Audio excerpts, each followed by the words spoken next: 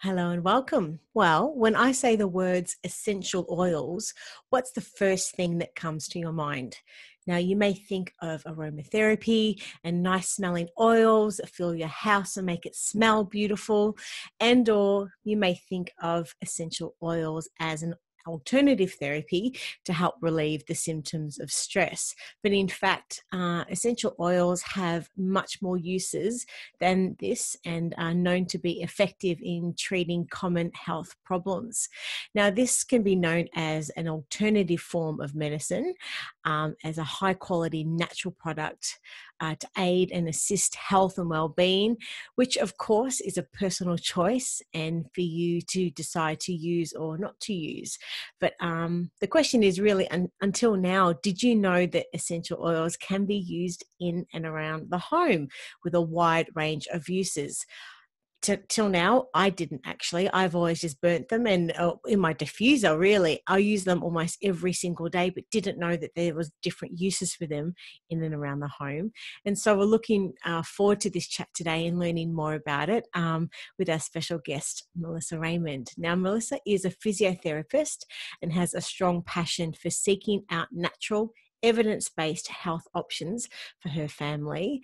And after completing her PhD, she now uses her research skills to help uh, dive deeper into evidence uh, into all things being eczema, allergies, food intolerances, and gut health. And she helps parents uh, with children that have eczema, allergies, and food intolerances with evidence based approaches so their child can finally feel comfortable physically physically and emotionally and have the entire family um, so they can actually start living their life again. And she's also a mum to two beautiful boys. Now, thank you so much for joining us, Mel. How are you?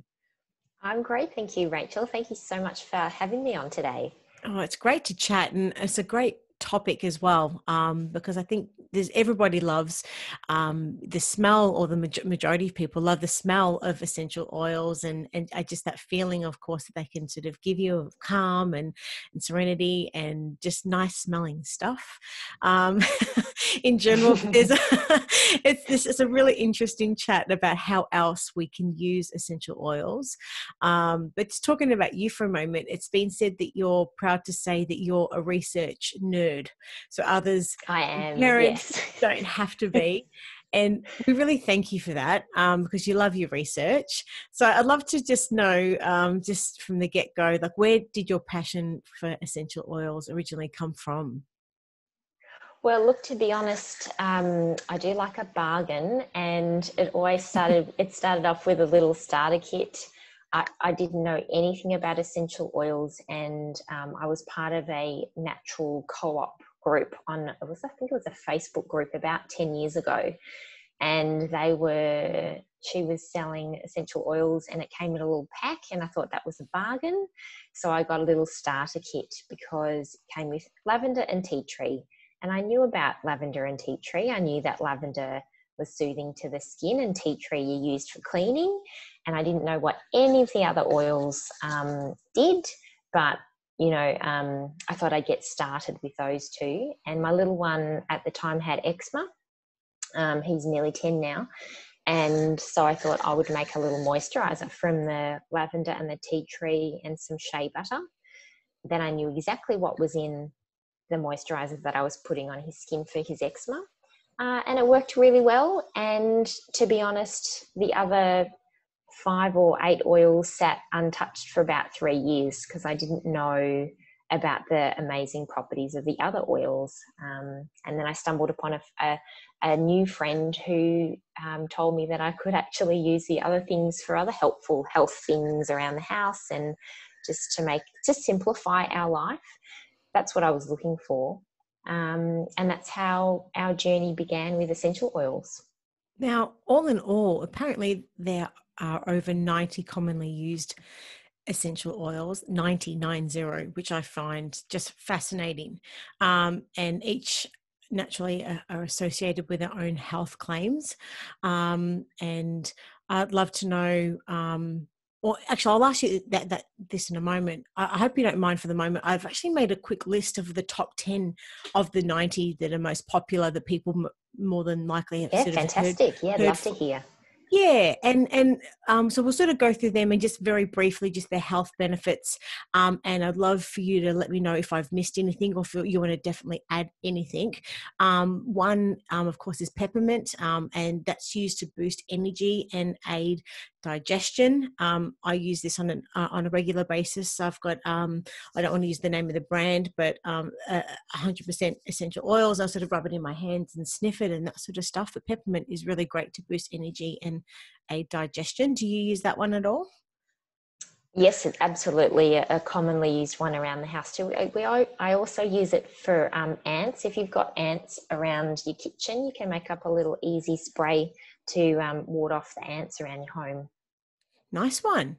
Um, next one is lavender. Um, as we know, that is to um, help um, relieve stress. Um, so I, have actually been to a lavender farm before, and I've seen them.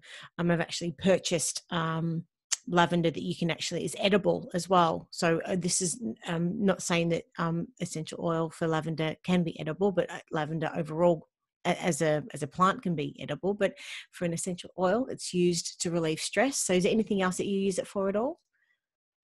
Oh, look, I love to mix this one with peppermint and frankincense as well to help with any time I'm feeling tension in the body. Sometimes you get that bit of a heavy head. So that's what I'll use that for as well. Yeah. Combining them. Nice. That's a nice little mixture there. Um, sandalwood um, is used to help calm nerves and um, helps with focus. Do you use it for anything else? I will use that uh, with a mix of with orange as well or any of the citrus oils that woody and citrus makes a really nice um, as well for the calming but just an energy boost with together and it can make a really nice replacement for perfume excellent i love that citrusy sort of smell um, bergamot yeah. is used to reduce stress and improve skin conditions like you were saying before like eczema so do you use that um, or do, have you used that with your your son at all not for not for the skin, but I actually use make up a blend for sleep, and it contains bergamot in it with the lavender. and it's really really beautiful and um, um calming as well. Mm. The next one is called uh, is called Rachael. The next one is rose, and rose can be used to improve mood and reduce anxiety. Do you use uh, rose oil for anything? Uh, we also use rose for um, helping with the skin too. So it's a really beautiful one to use on the face, just diluted. Mm-hmm. Um, but yeah, rose is my son's favorite oil and the most expensive one, I think. and the next this this next one I didn't know you could actually get it in an oil um, is chamomile and that's used to improve mood and relaxation. So do you use chamomile oil for anything at all? You could also pop it in a tea, um, you to as you would with um, making sure, of course, that it was a food grade uh, based chamomile. But yes, it's very soothing. So you could have a drop in a cup of. Usually, I would have it in a cup of white tea, so something with the milk or something with the flat, just fat to blend it through. But that can be really nice and calming before bed. Nice. The next one is y- ylang ylang. Is that the correct, correct pronunciation? Ylang ylang. Yes. Yes. Used to treat headaches, nausea, and skin conditions. Do you use that for anything else at all? Uh, this is a beautiful one to make in a replacement perfume as well. Mm. So many many will will detect the ylang ylang in a perfume base, but it is just a really nice floral tone to add to replace like there's a lot of chemicals in perfume and if you wanted to simplify your life and simplify your health even just plain ylang ylang can be beautiful to um, replace your perfume Fantastic. And of course, tea tree, which you mentioned before, that's used to fight infections and boost immunity. Now, I'm sure there's plenty of other uses for tea tree, tea tree, which we're going to speak about in a moment. But do you want to leave that for later, or do you want to maybe speak about it now? Uh, I'll just put my little handy 50 cent tip as well. Um, if you want to make your own cleaning spray, five to 10 drops of tea tree oil in a spray bottle with water, maybe a dash of vinegar if you could be bothered, but otherwise, it's a pretty inexpensive replacement um, to use around the house and it's kid friendly as well. Excellent. All natural. The next one is jasmine, and that's used to help with depression, childbirth, and libido. That sounds pretty good. Um, I yes. didn't know you could get jasmine oil. To tell you the truth, that's that's a new one to me. Yeah, absolutely. Um, you can. It, again, it's another another expensive oil. Often they're, they're more expensive because they require a lot of flowers to be picked to create the oil. Um, but that one can be layered with rose and neroli as a, again a beautiful replacement oil, and just to help um, heal the heart. It's a really nice heart oil. Oh, beautiful. And the next one is lemon. Never thought of lemon oil before, but that's used to aid digestion, mood, headaches, and more. So, do you use lemon oil with anything at all? Uh, food grade lemon oil, yes, absolutely. It's an, if you don't have a lemon in the house and you're making a guacamole, a couple of drops of lemon oil in your avocado dip is amazing. Um, it's also really great to, to pop in lemon slices, lemon slices and lemon dishes um, you know, things like um, what is it called? Lemon meringue pie. It's amazing. Oh, that's my that favorite. Well. Yeah. Now, I guess as a disclaimer, um, if our audience have a, a, serious health condition or taking medication, um, they definitely should discuss the use of essential oils um, with their health uh, practitioner. And for anyone else with minor health issues or just looking for support um, in their health and well-being um, using essential oils as a supplementary therapy uh, definitely can be beneficial and worthwhile in in fostering a wide range of advantages uh, for your health. Um, i'd love to know your, your thoughts on this overall Oh, look, absolutely. I think with any dietary changes or supplement changes, um, lifestyle changes, it's really important that you get the right advice. Um, seeking the advice of a health practitioner who's qualified to be able to help you um, is really important. And I always encourage people to do so before ingesting um, essential oils. So we do, there are food grade essential oils that we have in everyday products that we buy from the supermarket. Um, and if you do decide to use them internally, it's really important that you make sure that the oils are food grade, so they're not just um, uh, there's not just fillers in there as well. Um, but essential oils are just wonderful to use topically. That means on your skin and diffused as well, like in a, in a diffuser, which you mentioned before. So that's a really great way to get started before you dive dive further with essential oils. Yeah. And before we sort of um, get into more of the details about the benefits of them, um, and uh, as another disclaimer, you know, a large percentage of our audience are mums who are either planning or expecting a baby. So I really wanted to highlight that there are a number of essential oils that pregnant women are, are advised not to use, and these include, uh, but but are not limited to, because there are many, um, but fennel, clary sage, marjoram, tarragon, caraway, cinnamon, sage, um, parsley seed, um, pennyroyal, wintergreen. There's a whole list of others. So, um, as a disclaimer, please, if you are pregnant or planning, um, please check with your relevant health professional which ones are safe for you to use. Is anything that you want to add to that at all, Mel? I think it goes with the um, being empowered and educating yourself as well. So, absolutely seeking the advice of your healthcare practitioner and also taking the opportunity to learn about the essential oils so that you can um, there are some great reference books out there as well so that you can check those at any stage because we do move from stages of trying to conceive to pregnant and breastfeeding as well it's another thing to to um, just be aware of and using them around newborns just to be aware of and having a really good reference book can be really helpful so that you can check at two o'clock in the morning maybe when you need to um, which oils might be appropriate or which ones to avoid Fantastic advice. Now, on a lighter note, we published your article titled Essential Oils and Kids. Now, for someone who hasn't read the article yet, can you please give us an overview what it's about and just tell us what inspired you to write it? Absolutely. So the article is around using um, basically my top essential oils to use a, around um, around the home for family health.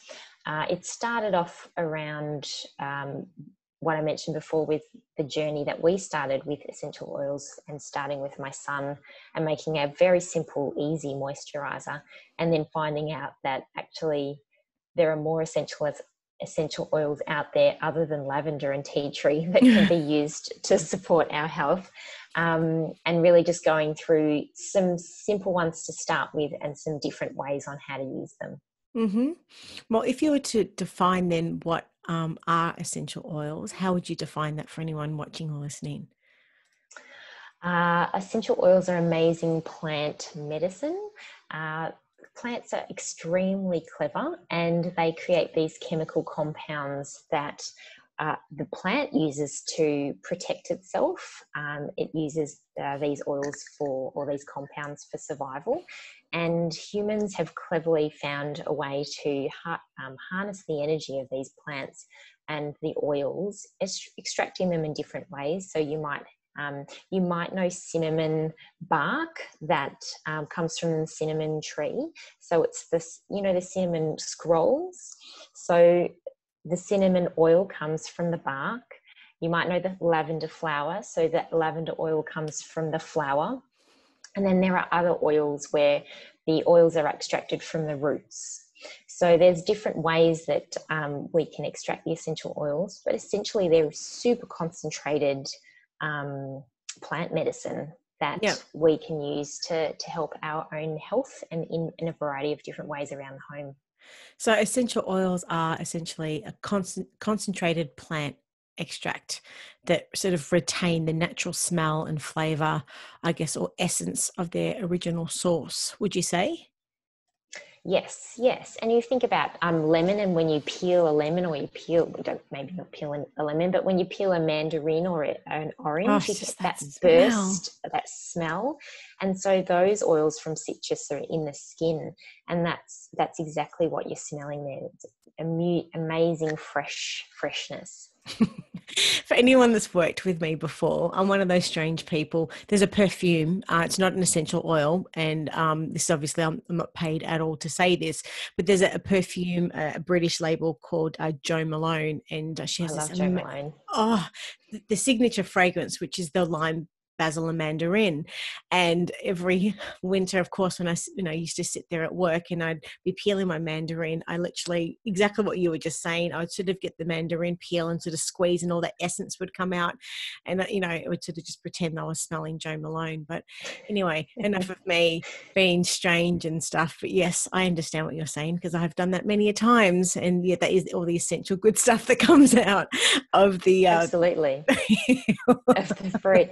And I think and that's the thing with essential oils that smell just it's linked uh, our sense of smell is uh, linked to our memory system. So when we smell smell it we are sometimes taken back to our childhood or a certain moment in time which is which can be really really lovely. Anchors back to an emotion. Absolutely. Now in saying that how can we use essential oils to help our children? Well, there's a range of uh, common kid, kid kitty issues uh, that come up. So sleep is one thing that uh, can be supported with essential oils. We use lavender and we diffuse that at night time uh, if the kids are having trouble getting to sleep or staying asleep. Um, and we also, at times when needed, will dilute the essential oil, like a, a drop of lavender in a carrier oil. A carrier oil is an oil that doesn't have a necessarily a therapeutic property, but it helps to spread the oil further. So you're not having to use a lot of essential oils, but it also helps it to go into the skin and be held into the skin. So we use a carrier oil, we use um, jojoba oil in our house sometimes. And so a drop of lavender with a little bit of jojoba oil um, rubbed into the soles of the feet before bed or on, on the back is a really nice way to help support your child have a really good, healthy bedtime routine. That's beautiful. That's really beautiful. And in the article, you actually list uh, six essential oils um, and different ways that you can use them. We have sort of touched on some of them, but I just wondered if you could just quickly talk through each of them and just, you know, with your suggestions, how we can use them. The first one that you speak about in the article is um, lavender. Yes, so we also use lavender. Lavender is one of the most versatile essential oils. So if you're going to pick one, I would go with lavender. Um, again, alongside with sleep, it can help with stress. So that's great for parents as well as children. Um, rubbing it on the shoulders or the back of the head, or just popping a drop um, on a tissue and smelling that, tucking that in your bra if you're going around um, during the day and you need something that just relieves your stress. That's a great way um, to go about it as a as a parent or an adult. Nice. Um, and scratches and scrapes, bites, those sorts of things. So that uh, lavender has antihistamine properties. Now you might have heard of histamines before, being that um, the reaction of you know tears, the runny nose um, associated with hay fever, um, itchy throat. So it calms down all of those things. So it can really soothe the scrapes and the um, um, the scrapes and the grazes that little ones have when they fall over, and also with any itchy bites. That can be really helpful as well. So, just using that topically. Again, I always dilute because we're using them around kids, but I generally dilute them anyway um, and you can just dab that on a cotton ball and, and dab it on their knees or wherever wherever the scrapes or bites are. Wow, there's a lot more uses to lavender than I thought, but they all seem to sort of have some form of a calming effect. Would you say? Yes, absolutely. Yes. Spot yeah, the, the next one you have on your list is tea tree. This one's also a little a good one to pop in your little um, scratch and scrape uh, blend. So lavender and tea tree can go well together, and it goes well because it has the complement of the antibacterial properties. So if there's you know there's a little bit of dirt in there, or you think that it's looking a little bit red from an infection perspective, tea tree is a really nice one to complement that. And tea tree has been used for hundreds, if not thousands, of years for um, for that purpose, for the antibacterial properties. We also, I'll pop this in the diffuser with lavender and peppermint if it's a really windy day, you know, springs, spring has sprung and you've got that pollen in the air and you've got that sort of um, itchy eyes, runny nose. That's I'll also use tea tree for that as well. So that mix again was tea tree, lavender, and what was the other? Pep- peppermint. Wonderful. I'm going to try that myself yeah. actually. Thank you for that. And, and into You're a diffuser. into the next a one, diffuser, yeah. Yeah. And the next one on the list is lemon. Oh, this is sunshine in a bottle. I don't know. I mean, we talked about before about peeling an orange, but the lemon essential oil just brightens my day. Um, if you're ever feeling low, if you're ever feeling like you're a bit flat or tired, a lemon essential oil will, will just give you the pick, pick me up that you might need. Um, and also, it's really great for getting the sticky labels off your glass bottles or uh, sticky stuff off the carpet with the kids in the house. So that's a really, um, lemon is, I did, yeah, sunshine in a bottle. okay, the next one we have on the list is oregano. Oregano, oregano is known as a hot oil. So this one, actually, if you put it directly on the skin, you'll feel a warming, potentially a burning um, sensation. So it's really important that you keep the, your, all of your essential oils away from your kids, so up on a high shelf. But this one in particular, you always dilute it if you're using it topically.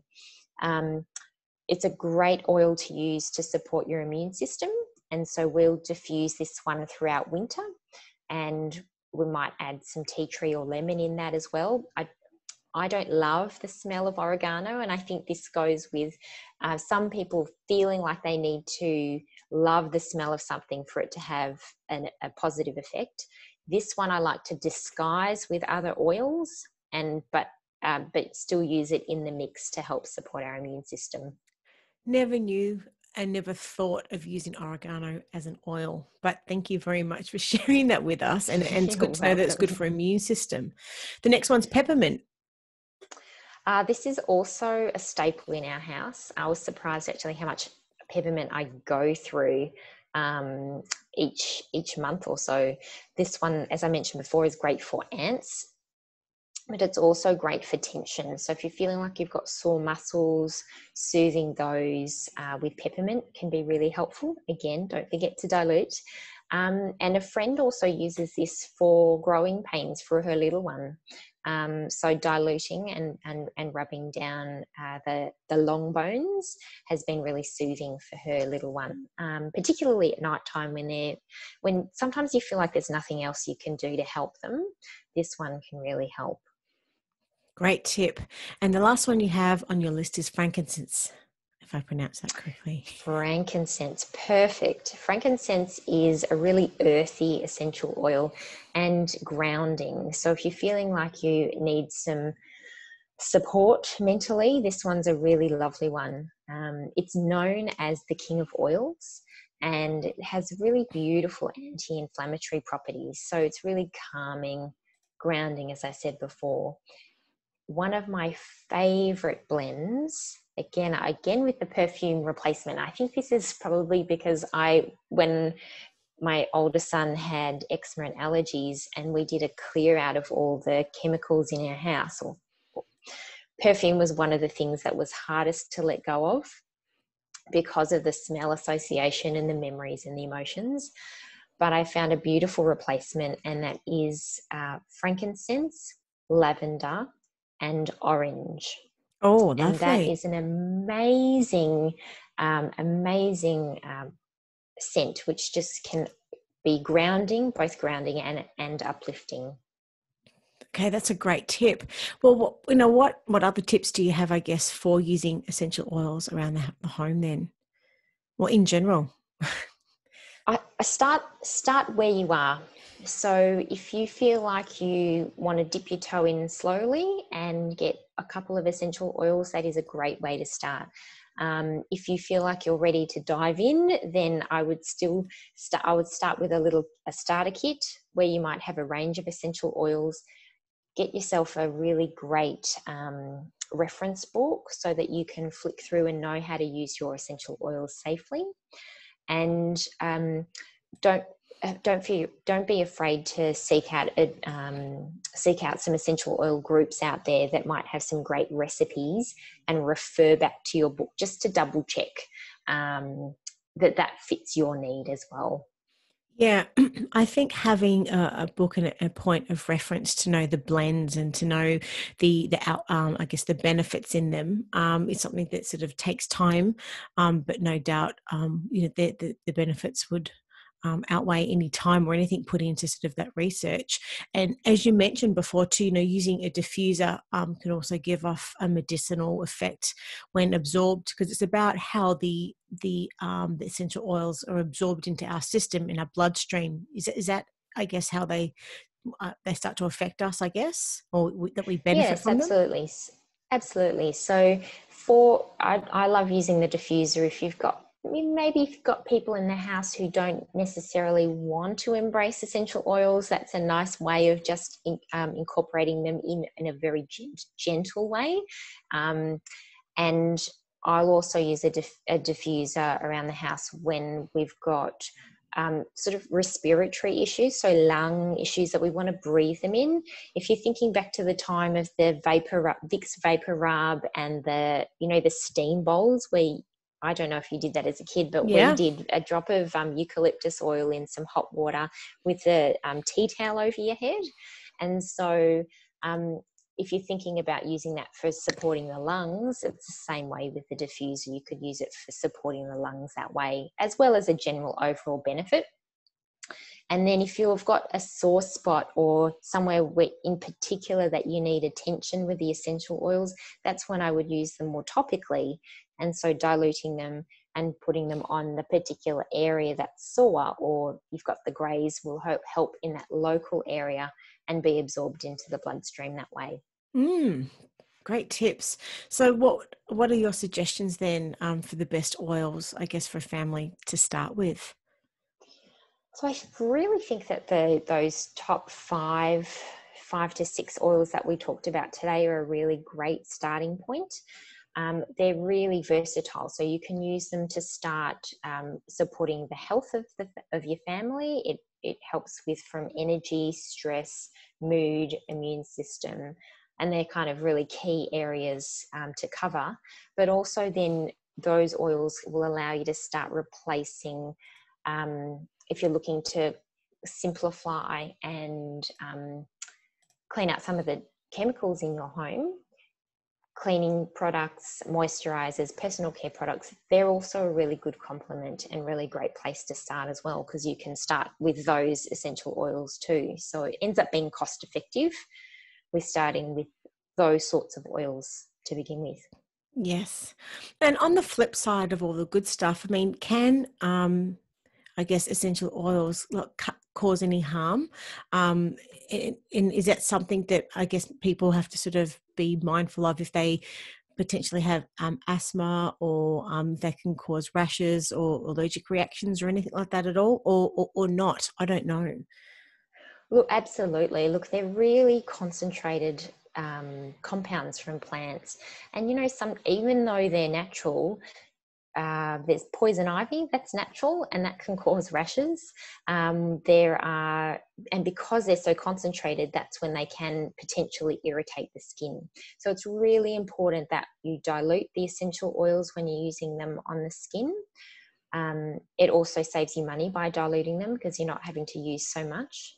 And being aware of the dilution ratios as well for um, for children and adults and people with sensitive skin, I usually will recommend my clients um, who do have eczema, if they're starting with essential oils, they would use one drop to 10 mils of a carrier oil. So it's very, very diluted. Sometimes even that can be too much, um, but it's a really personal thing. So everyone's got different levels of sensitivities. So it's really important that you patch test and go slowly.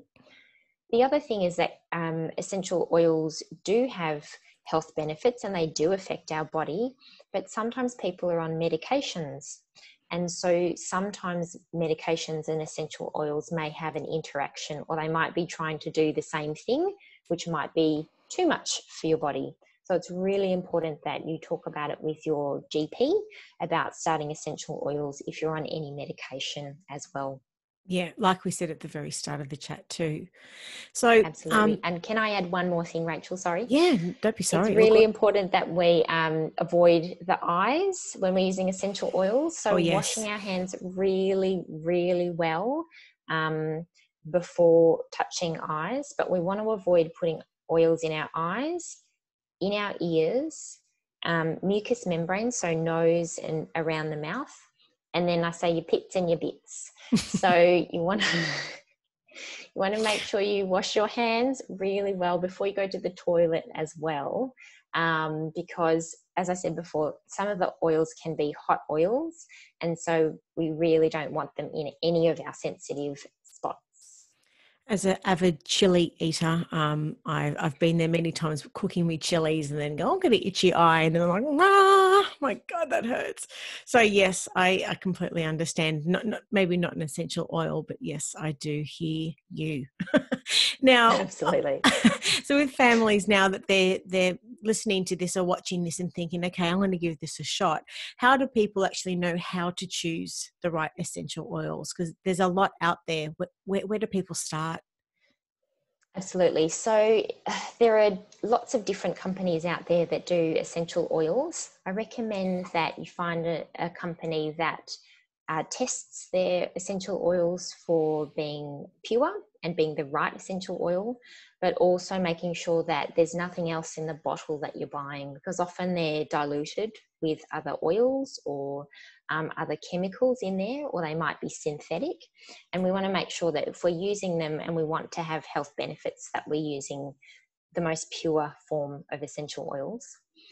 Um, and then, really, if you're wanting to dive in, a lot of the companies have little starter kits on where to start. So contacting um, contacting the company, I've got some information on my website about um, essential oils and how to get started, or even starting with a reference book um, to have a look through to see which ones might suit. Might be a way to go for some people, but I would start simple. Start simple, go with the top five or six, and and then you can expand from there if that if you're finding that essential oils resonate with you. Cool. So, what I'm hearing, and tell me if I heard it right, to look for high quality oils um, and only use pure plant sort of compound extracted. Um, and a lot of them are sort of either distilled or they're sort of cold pressed, I think, aren't they? Yes. Um, yeah and to avoid oils that have been sort of diluted with synthetic sort of fragrances, chemicals, or oils. They're generally sort of the cheaper ones, aren't they, that you see sort of in the the cheapy sort of stores. So to sort of just be mindful of those ones. So look for pure oils, really. Um, yes, absolutely. Would, and um, I sort of find, and um, usually they've got the full the plant's like botanical name um, which is a long sort of technical scientific name, Lavandula officinalis or whatever they're called. As opposed to, yep. Yeah, see, yeah, that's why you're the professional. uh, rather than, you know, essential oil of just lavender or something, you know, layman terms like I would use. Um, and I think you mentioned before too a chemical free oil, essential oil that's been extracted really through um, that um, sort of mechanical cold pressing as well. Is that is that right? Yes. So the different different plants are, um, or depending if it's a fruit or the flower, they're extracted in different ways. But it should say on the label um, what the ingredients are. One thing to note though is often they don't label what else is in the is in the essential oil. So do a bit of research and find out it's not hard these days to have a little look um, to see what essential oils are 100% pure. Um, and there are some companies out there that will show all their testing as well. So if you can access their testing of their product and they're happy to have it transparent on the, um, for everyone to see, I think they're they're a, they're a trusted company to go with. Yeah. So it definitely to purchase a brand with a reputation for producing high quality products and there's a quite a few out there. I use doTERRA quite a lot um, and and love their stuff. But not saying that you have to, but I mean that they are sort of widely uh, well respected, and there's a whole heap of others, of course. Now, getting back to what we were saying earlier, uh, we mentioned before that there are a list of es- essential oils that women who are pregnant. Um, that they should avoid, um, and that is very important um, however, there are essential oils that are safe for pregnancy and they can actually help with a few ailments. Um, and I just wanted to sort of go through a few of these just to get your thoughts too. So, to, to relieve nausea, things like lavender, chamomile, peppermint, and ginger, ginger um, and you know, either sort of sniffing those or one or two drops into a diffuser can sort of help. Um, and they can sort of help ease um, sort of like morning sickness and that sort of stuff as well. Have you heard of any of that stuff before? Yes, look, absolutely. And I think um, some of the listeners out there might be familiar with having ginger products. And before I had heard about essential oils and used them, um, you would have a ginger tea for nausea or you would have a peppermint tea for nausea. So all of these um, these oils now that we're using do have origins of being used for for a long period of time before people use them in the oil form. So absolutely, yes they're definitely worth a go if you're feeling unwell during pregnancy. Yeah, and maybe they could even sort of drop a few of the, the, the droplets into like a hanky or something like that to sort of sniff or a cotton ball um, as well. Um, as we were saying earlier, might be a quicker and easier way to sort of get it into the bloodstream. A different thing too um, is to improve health. So lavender, ylang ylang, mandarin, and frankincense, same sort of thing. Um, as you mentioned before, like a blend of those types of things can sort of help to improve sleep um, for pregnant women. Um, is there anything else? I guess you want to maybe add to that at all? No, diffusing is a really lovely, gentle way to use the oils. So that's how I would um, start with someone um, during pregnancy. Again, um, making sure that they had a reference book and um, had sought the advice of their healthcare practitioner. And uh, essential oils for, for um, pregnant women also can help to soothe muscle aches. So things like lavender, ylang ylang again ginger chamomile and frankincense in any combination once again consider help um, with that. And uh, the uh, the horrible hemorrhoids but they apparently i was reading that that um, essential oils can help. So tea tree um, geranium uh, is, it, is it cypress? Is that how you pronounce it? And lavender. Cypress yes. Um, these can actually help to soothe swelling and irritation as well. Um, have, have you heard of anything like that um, it been used? No, I haven't, Rachael. Not for hemorrhoids. I've never. Um, I wonder how they would be used if that was topically. Definitely need to dilute. Definitely need to investigate that one. Yes. if you were going to use them topically. well, I, I was I was reading um, that the you blend all of them together and for a total of eight drops altogether. So it is diluted and add the mixture to two tablespoons of aloe vera gel and then apply a concoction directly onto the affected area with a cotton ball or a tissue. So i um i just didn't know if you'd heard of that before but no i hadn't but there's i mean there's so many uses of essential oils thing. and that's absolutely yeah and going back to the very start of our discussion where there's there's 90 of them um, it really does um, you know sort of make the mind boggle as to all the different things that they can help with. Um, and i've loved this this this chat today. If you were to um, summarize i guess your key messages for anyone watching or listening um, what would they be? Essential oils are a lovely complement to a new family or a, a family that's going to become a bigger family, um, start simple. Don't overcomplicate it. Make sure that you are informed and empowered, and find the find the best essential oils that work for you. Enjoy them. Yes, and look, we'll, we will have a link um, through to the article. But if people have got any questions for you um, and or want to contact you um, after watching or listening, whereabouts can they find you? Sure, they can find me at yourjourneytohealing.net. Um, and on Facebook, I'm at Your Journey to Healing with Melissa. Fantastic, and we'll have all of those links in the show notes. Love this chat, Mel, and let's let's uh, chat again soon. Take care. Thanks so much, Rachael. Bye. Bye.